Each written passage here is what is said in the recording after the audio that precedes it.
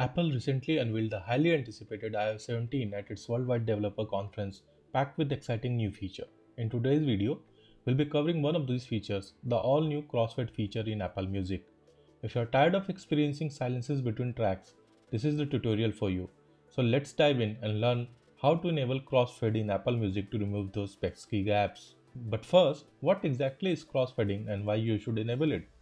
Crossfading refers to the seamless transition between tracks, eliminating any silence or gaps you may encounter. Currently, when you play a playlist on Apple Music, you will notice a few seconds of silence between songs. This can be quite jarring. Thankfully, Apple has finally introduced the crossfade feature in their music app. With crossfade enabled, the currently playing song will slowly fade out while the next track gradually increases in volume. This creates a seamless listening experience. Let's see how you can enable this feature on your iPhone. First, launch the settings app.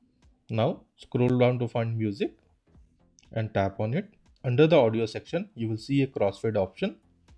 Enable the toggle and adjust the crossfade duration using the slider. The longer the crossfade duration, the more seamless the transition. However, choosing a longer duration may result in losing the last few seconds of the current song.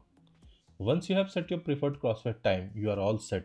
Now your tracks will transition smoothly and you won't experience any more awkward silences during the music sessions.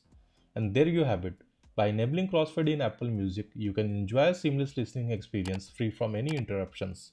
So go ahead, enable the toggle, set your desired crossfade time and enjoy a silence-free music streaming experience on your iPhone.